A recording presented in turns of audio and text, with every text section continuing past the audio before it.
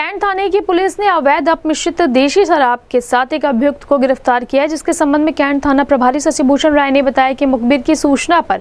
एक अभियुक्त को गिरफ़्तार किया गया है, जिसकी पहचान दीपू पासवान, पुत्र स्वर्गीय सोबिंद पासवान निवासी शिवपुर थाना कैंट जनपद गोरखपुर के रूप में हुई है,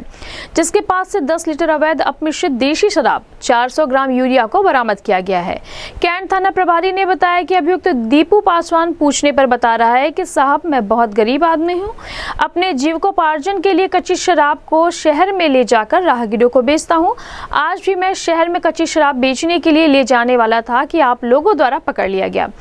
अभियुक्त से यूरिया के विषय में पूछा गया तो बता रहा है कि यह मैं कच्ची शराब में मिलाकर बेचता हूँ, जिससे शराब की तीव्रता बढ़ जाती है। पीने वाले इस अपमिश्रित शराब को बड़े चाव से पीते हैं, इसलिए मैंने थोड़ा यूरिया इस पीपिया में भी मिलाया है, जिसको जेल भेज दिया गया है। गिरफ़्तार करने वाली पुलिस टीम में कैंट थाना प्रभारी शशिभूषण राय, उप निरीक्षक अंजनी कुमार यादव, कांस्टेबल वैभव कुमार श्रीवास्तव, राकेश सिंह, अंकित कुमार शामिल रहे।